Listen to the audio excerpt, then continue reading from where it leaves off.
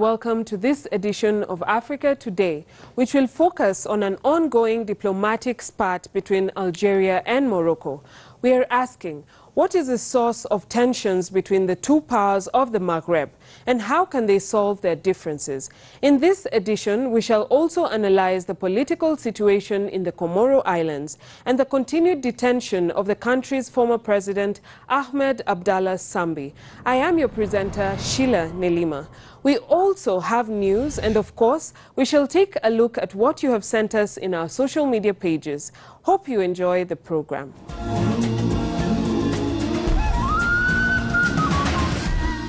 Morocco-Algeria tensions. Algeria recently summoned Morocco's ambassador to Algiers in protest against a hostile remark allegedly made by a Moroccan diplomat. Tensions between the two neighboring countries rose mid-May after the Moroccan consul in the Algerian city of Oran was seen in a viral video purportedly referred to Algeria as an enemy country.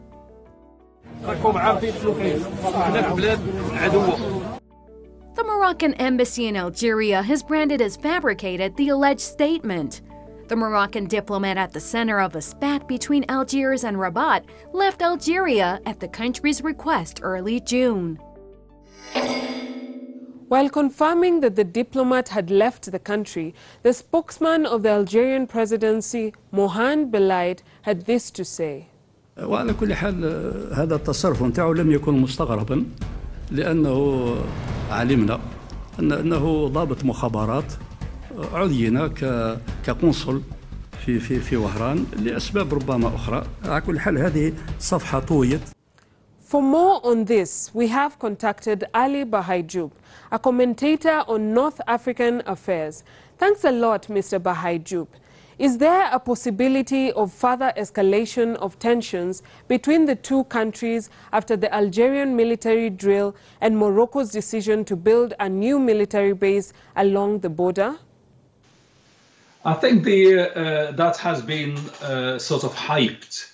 Uh, the, the, it's not actually a military base, it's just a barrack moving uh, some of the, the army uh, units into the frontier. Uh, so they are in the in there at least to be on alert if ever there was a problem. But I can't actually imagine uh, a military confrontation between Morocco and Algeria because uh, both of them will be uh, losing out because of the the the affinity between the two peoples of Morocco, Morocco and Algeria. The the people are have a, huge and deep affinity and has been for a long, long time. Thanks a lot, Mr. Bahaijoub. Relations between Algeria and Morocco have been tensed for many years over the Western Sahara territory. Spain relinquished colonial control of the Western Sahara in 1975. Morocco and Mauritania then stepped in and claimed the territory as their own. Mauritania withdrew its claim to the territory, while Morocco, which controls most of the territory including its three main towns, insists it is an integral part of the kingdom, while Algeria backs its independence. A Western Sahara journalist, Naza Al Khalidi, explains here some of the difficulties faced by the masses and activists in the territory controlled by Morocco in the beginning of the program, Morocco invaded our country um, and invaded the people in Western Sahara, and the people of Western Sahara endured war and occupation. Uh, even though there are very few people outside who have heard about uh, our suffering and our tragedy. The reason that Morocco is considered as, as, as a human rights defender and activists and journalists any as enemies so they're not going to just give us authorization to work and to to document what they are doing against the people in western sahara because they spend uh, many many years just hiding the real reality uh, from the world Algeria backs the Polisario Front, a secessionist movement demanding independence from Morocco. The Polisario's self-declared Sahrawi Arab Democratic Republic is recognized by the African Union and many African countries, including Algeria and South Africa. In June 2018, President Brahim Ghali of the Sahrawi Arab Democratic Republic was in Pretoria for talks with South African President Cyril Ramaphosa, who called for the end of Morocco's colonization of the territory. Suffering that the people of Sahrawi are going through now in refugee camps will be sufficient evidence that indeed this colonization should come to an end uh, because it is an affront to us as the people of Africa that we should, in this day and age, still have one country within the African continent that does not have self determination, that is not independent. How has the Western Sahara issue contributed to the deep rivalry between Morocco and Algeria? Uh, it is the source of the problem. The source of the problem for the last 45 years. So much so that it, the only country where borders actually are closed is between Morocco and Algeria, and that's since 1994. And, and that is totally unacceptable to Moroccans and Algerians and to the Maghrebi population because that stopped even the Maghreb Union from even be implementing anything whatsoever.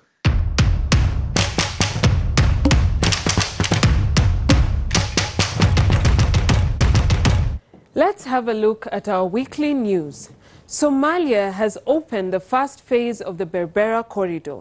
The project is set to link Ethiopia's border town of Togochale to Berbera port in Somalia. Somaliland imports to Ethiopia has been estimated to be over 800 million US dollars annually. The project will increase the port capacity by 50%. Still on Somalia's development, a new photovoltaic solar power plant has been commissioned in Mogadishu. The aim is to reduce the cost of electricity through minimizing the import of fossil fuels for electricity production. Reduced costs have been achieved, opening up more discussions on expanding its capacity. Now onto technology. An e-commerce firm, RG Consult INC, has launched an online platform linking buyers and sellers to Kigali's Kimironko market. The shopping experience has now been made easy while people observe social distancing and use cashless transactions while going about their businesses. Now, Mozambique resumes its coastal shipping services. President Filipe Nyusi inaugurated the new service in the Maputo port. The services come after a 30-year collapse. The operation has begun with two ships. However, incentives such as reduced costs and taxes have been introduced to encourage more investors and ship operators. Now on to Nile Dam developments. Talks have resumed. Despite Sudan, Egypt and Ethiopia expressing the desire to cooperate, the beginning talks have not yielded any fruit. They have been clouded by Sudan and Ethiopia's growing border dispute and further, the Ethiopia's alleged defenseful approach. Now, trains wearing masks. You heard that right. The tram company in Rabat, Morocco, have adorned their trains with masks. The idea is to encourage and remind people to put on masks as a measure to stop the spread of COVID-19. Let's have a look. A genius way to encourage the wearing of face masks in Morocco. The charms of Rabat are adorned with masks. The idea is to encourage and remind passengers that the wearing of masks remain mandatory. Thanks for watching. Stay tuned for more.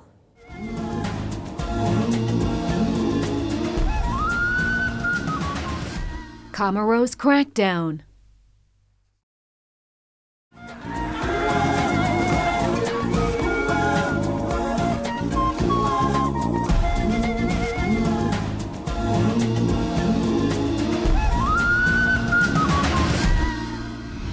The Indian Ocean archipelago of Comoros is rarely in the news, but now there is simmering discontent in this pristine country due to the authoritarian rule by a government cracking down on dissent. The Indian Ocean archipelago nation is made up of three main islands, namely Anjouan, Moheli, and Grande Comore. Former Comoros President Ahmed Abdallah Sambi has been under house arrest for two years without charges. Sambi, who served as president from 2006 to 2011 and is the main opponent of current president Azali Assoumani, has been held under house arrest since May 2018. Sambi was arrested after he was questioned over his role in a scheme to sell the country's citizenship that investigators say was riddled with corrupt practice. Sambi has denied the allegations against him, and in a recent letter to President Assoumani, he reiterated his innocence. In a previous interview, Sambi also rejected the corruption allegations leveled against him. I don't know if they put all that money in a truck or a check in the bank. In any case, I declare before Comorians and the whole world that these are lies. If that were true, God would punish me on Judgment Day. I am not a prophet. I can make mistakes, but I've never stolen.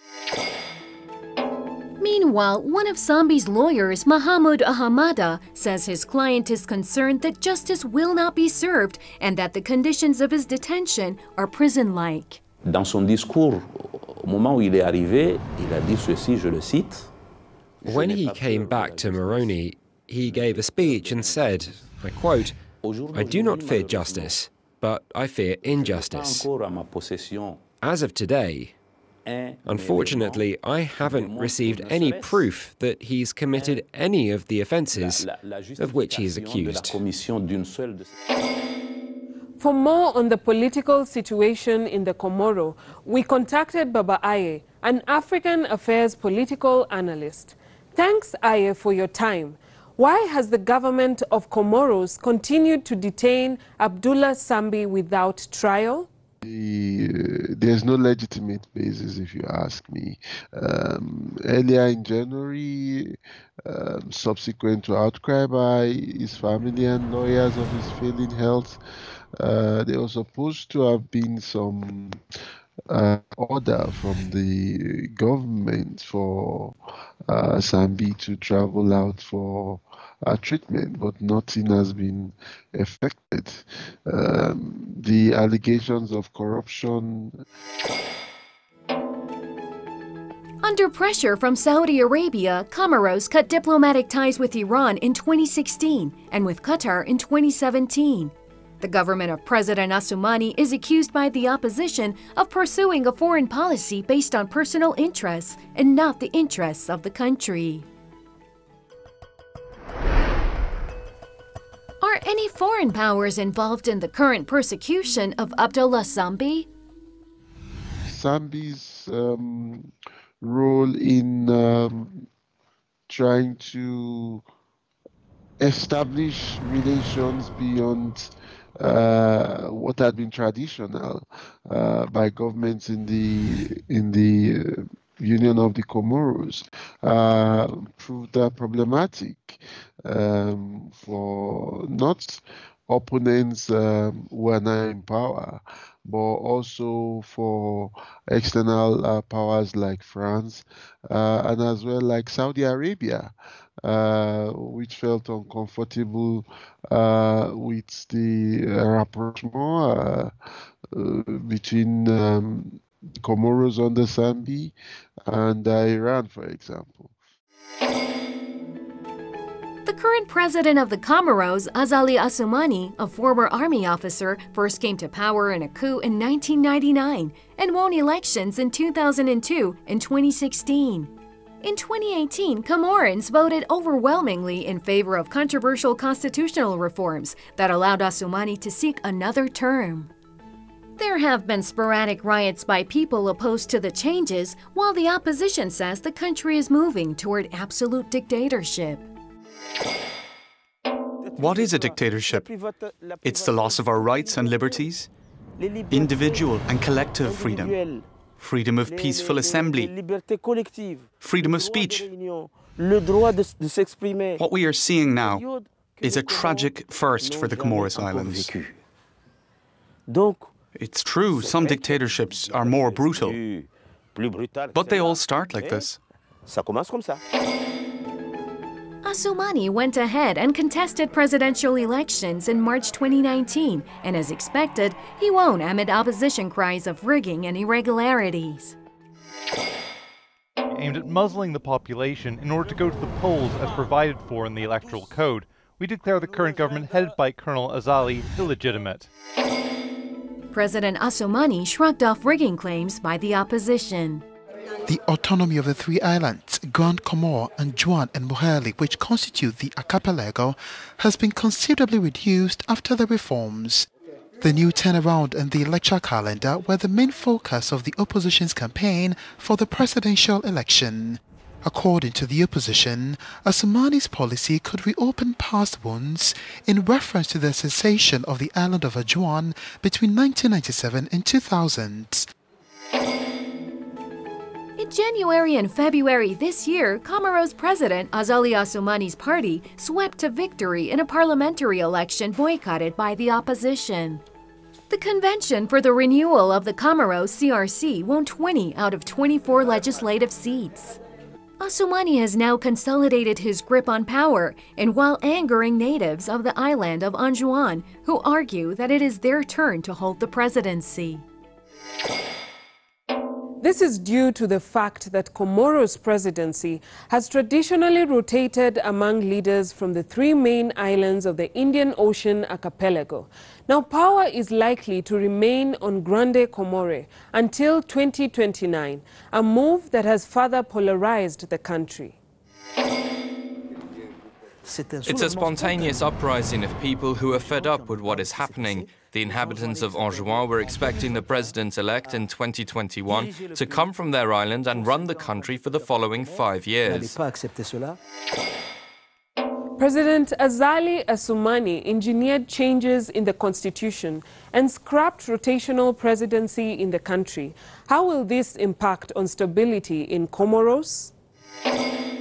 because uh, the former military officer Azali really uh, wants to, with these, perpetuate himself in power. And um, already, when you also look at the results of the legislative elections uh, in, in, at the beginning of the year, uh, he's consolidating his power.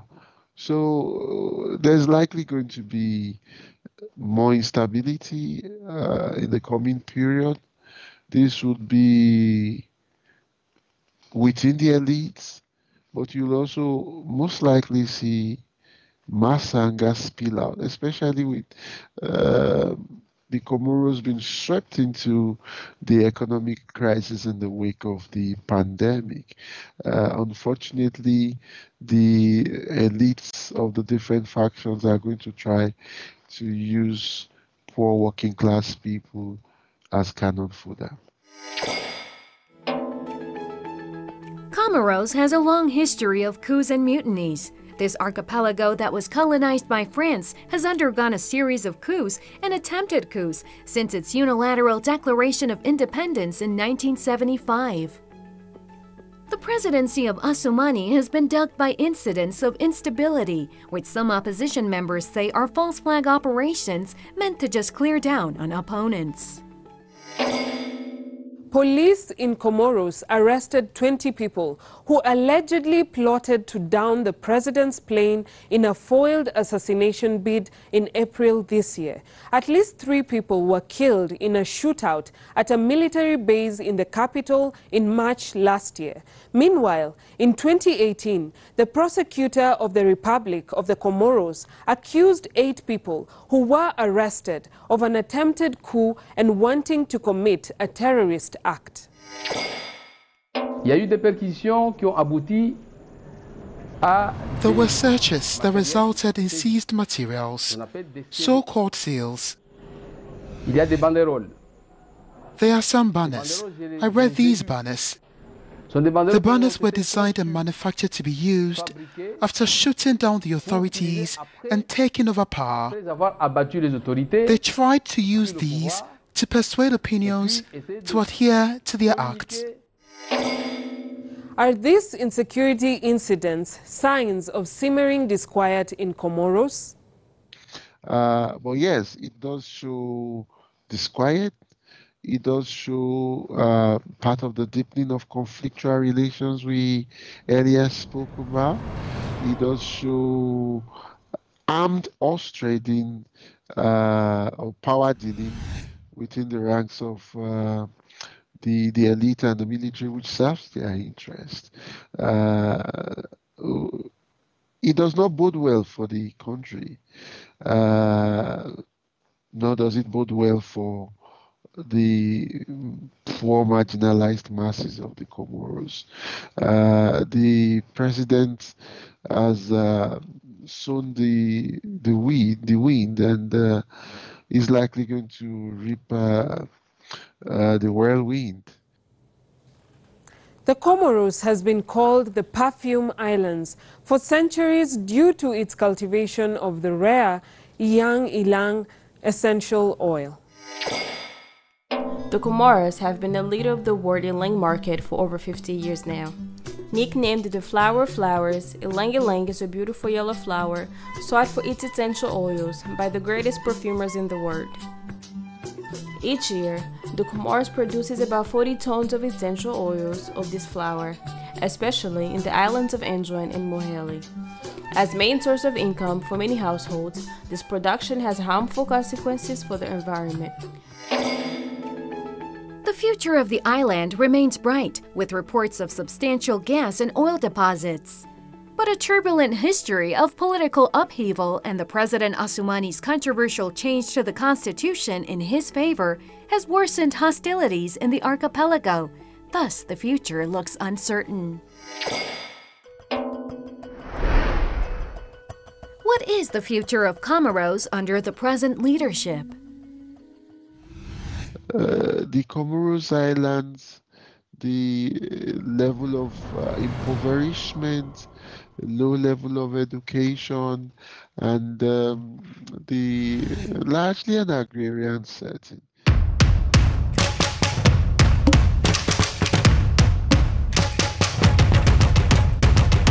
Welcome back to this segment. We are going to look into your feedback in our social media platforms.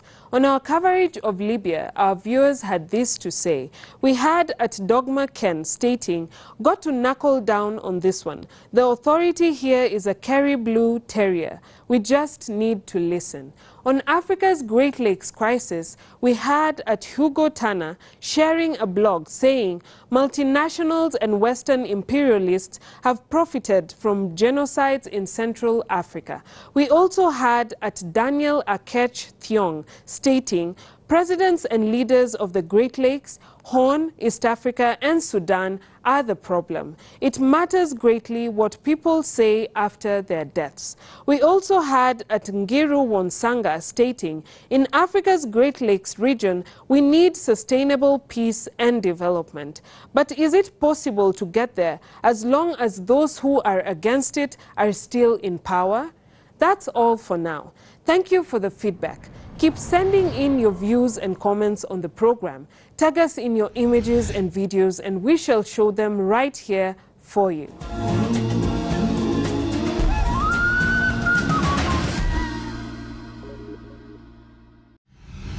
And that brings us to the end of another edition of Africa Today, a program which gives an incisive analysis on news and events making headlines in Africa the rising continent.